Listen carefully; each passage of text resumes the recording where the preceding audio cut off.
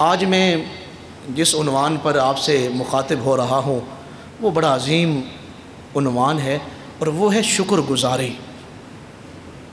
शुक्रगुजार होना। हमारे यहाँ मौजूदा दौर में नेमतों की कसरत है। जितने लोग भी आप यहाँ बैठे हैं, आज से 25 साल या 30 साल पहले पीछे चले जाएँ, अगरचे आप उस वक़्त माली लिहाज से अमीर भी हों लेकिन जो नेमतें आपको आज हासिल हैं, आपको 25 साल पहले वो नेमतें हासिल नहीं थी। हमारे यहाँ जो अक्सरियत है, वो शुक्रगुजार नहीं, बल्कि वो हरीस है। हम हिरस में मुबतला है कि फ़लाँ, किसी आदमी को पता चले कि मेरे फ़लाँ अज़ीज़ ने इतनी महँगी जो है वो प्रॉपर्टी ख़रीदी है तो लोगों की आँखें यूँ बाहर आ जाती हैं। अगर किसी को पता चले कि उसकी बहुत बड़ी कहीं से कोई उसने सामान बेचा है तो उसको बहुत ज़्यादा उसमें नफ़ा हुआ है, तब भी हम परेशान हो जाते हैं। अगर हमारे यहाँ छोटी, हमारे पास गाड़ी हैं, कोई हमारा जानने वाला बड़ी गाड़ी ले ले, तब भी हम परेशान हो जाते ये हिरस है, ये हरीस है। हम दूसरों की तरफ़ देख रहे हैं कि उसके पास ये है, उसके पास ये है। अपने पास नहीं देख रहे कि हमारे पास क्या है। शुक्र क्या है? कि इंसान के पास जो नेमतें हैं, वो उनकी तरफ़ तवज्जो करे कि अल्लाह ने मुझे क्या दिया है और फिर उन पर शुक्र अदा करे। जो हमारे पास नेमतें हैं, हम उनको देख ही नहीं रहे। अल्लाह ताला ने हमें सेहत दी है। हम सुबह इस हाल में उठे कि हमारे फ्रीज़र में फ्रूट पड़ा हुआ था और हमारे किचन में खाना बना हुआ था और हमारे जिसम में किसी किस्म की बीमारी नहीं थी। हमारे घर के अफराद में से, औलाद में से बहन भाइयों में से कोई शख्स हॉस्पिटल में नहीं था। और हमारी जसामत बिल्कुल सेहत व आफ़ियत वाली थी। नेमतें भी घर में भी पड़ी हुई थी और तंदरुस्ती भी थी। और फिर सुबह हम खैरियत से उठ रहे हैं तो इसके बावजूद भी इंसान शुक्र न करे उठते हुए। तो फिर वो, इससे बड़ी इंसान के लिए बदबख्ती क्या हो सकती है? हज़रत शेख सादी रहमत बहुत बड़ा नाम है और आपकी वो मशहूर ज़माना नात है, बलगल बलगला कमाली, कि वो ईरान में बैठ के, शेख सादी ईरान में बैठ के नात पढ़े और गुंबद खजरा तक नात सुनी जाए। और सिर्फ़ गुंबद खजरा शरीफ तक नहीं, रात को ज़्यारत हो तो हजूर अलैहिस्सलाम फरमाएँ कि ए सादी, जो तुम ना ना शरीफ रात को पढ़ रहे थे, वो मुझे पढ़ के सुनाएँ बालागल्ला भी कमाली। तो शेख सादी पूछे, या रसूल अल्लाह मेरा नात लिखना आपको इतना पसंद है कि मदीना मुनवरा में आप मेरी नात को सुन रहे थे? तो फिर हुजूर इरशाद फरमाए ए सादी, तुम मदीना मुनवरा की बात करते हो, तुम्हारी नात तो अर्श पर सुनाई जा रही थी। तुम्हारी नात के चर्चे तो अर्श पर हो रहे थे। ये शेख सादी हैं। इतने हुजूरी वाले और इतनी अजमत वाली हस्ती, जब आपसे पूछा गया कि आजकल हालात कैसे चल रहे हैं आपके तो अजीम जुमला इरशाद फरमाया फरमाया, अल्लाह की नेमतें खा खा के शेख सादी के दांत टूट गए हैं। हमारे यहाँ अक्सर जो लोग बुज़ुर्गी में चले जाते हैं, बुढ़ापे में चले जाते हैं तो उनके दांत टूट जाते हैं। तो दांत क्यों टूटते हैं? कसरत से हम नेमतें खाते हैं और बहुत ज़्यादा खाने की वजह से वो दांतों में अगर मिसवाक वगैरह हम नहीं करते तो उसकी वजह से वो दांत जो है वो उखड़ना शुरू होते हैं और सड़ना शुरू होते हैं। तो शेख सादी क्या कह रहे हैं? कि सारी उम्र मैंने अल्लाह की नेमतें खाई हैं, दांत टूट गए हैं, लेकिन ज़ुबान का हाल ये है कि वो शुक्र की तरफ़ नहीं आ रही। शुक्र गुजार नहीं बन रही।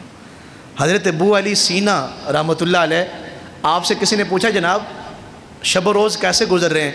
तो बड़ा अजीम जुमला इरशाद फरमाया, फरमाने लगे कि गुनाहों की कसरत समझ नहीं आती मुझे कि मैं गुनाहों की कसरत पर जो अल्लाह दरगुजर कर रहा है, उस पर अल्लाह का शुक्र अदा करूँ?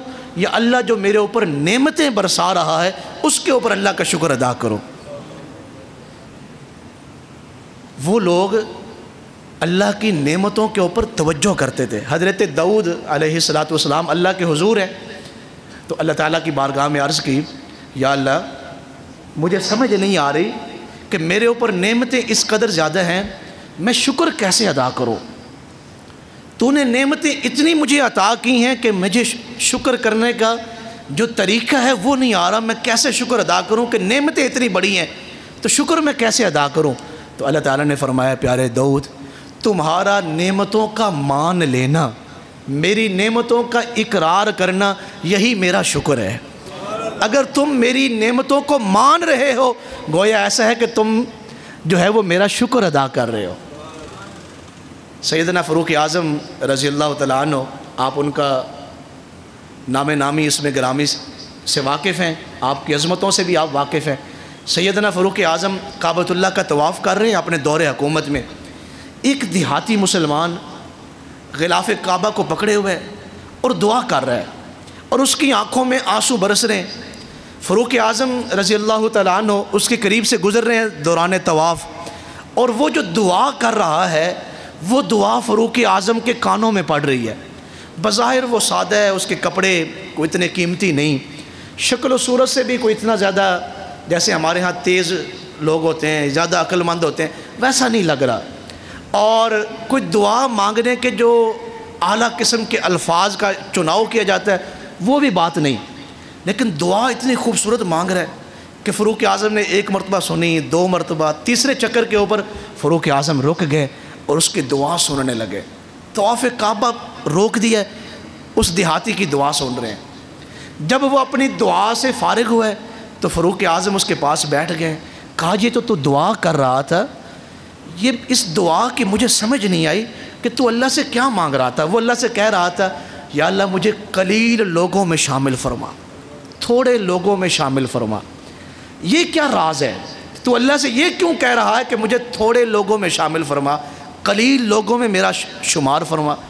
तो उसने कहा अमीर अमीरमिन क्या आपने कुरान मजीद की वो आयत नहीं पढ़ी, जिसमें अल्लाह ताला ने फरमाया कलील मिन इबाद या शुक्र नेमतों तो नेमतें तो मैंने हर इंसान को दी हैं, लेकिन शुक्र करने वाले थोड़े लोग हैं। तो मैं अल्लाह से ये दुआ कर रहा हूँ, या अल्लाह मुझे शुक्र करने वालों में शामिल फरमा।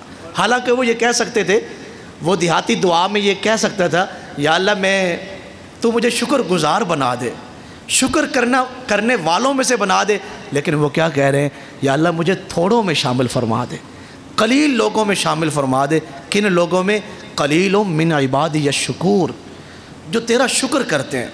शैतान ने अल्लाह ताला से फरमाया था, कहा था अल्लाह ताला से, शैतान ने मैं तेरे बंदों को शुक्र गुज़ार नहीं होने दूँगा।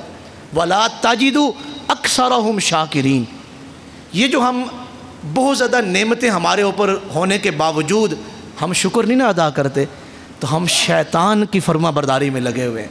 ये शैतान की ख्वाहिश थी और उसने अल्लाह ताला की बारगाह में ये जुमला कहा कि मैं तेरे बंदों को शाकिर नहीं होने दूँगा। लेकिन जिन लोगों ने अल्लाह का शुक्र अदा किया है हज़रत नू सलाम का बिलखसूस अल्लाह ने ज़िक्र फरमाया कि ये जो नू है, हज़रत नू है, ये मेरे शुक्रगुजार बंदों में से हैं। हज़रत नू कपड़े पहनते तो अल्लाह का शुक्र अदा करते। जब लुकमा उठा रहे होते तो अल्लाह का शुक्र अदा करते। जब पानी पी रहे होते तो अल्लाह का शुक्र अदा कर रहे होते। जब लेट रहे होते तो ज़ुबान पे अल्लाह का शुक्र होता। और जब सुबह सेहत के साथ उठ रहे होते तो ज़ुबान पे अल्लाह ताला के शुक्र के कलमे जारी होते हैं। आप में से कितने लोग यहाँ बैठे हैं? क्या हमें जब हम कपड़े पहनते हैं माशा हम सियालकोट में रहने वाले हैं। हमारे जो सूट हैं, वो दस हज़ार, बीस हज़ार, महँगे से महँगे कपड़े हम पहनते हैं।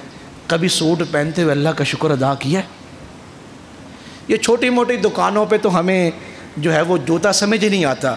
हम महँगे से महँगे जूते ख़रीदते हैं। तो जब जूता ख़रीद के हम पहन रहे होते हैं, कभी अल्लाह का शुक्र अदा किया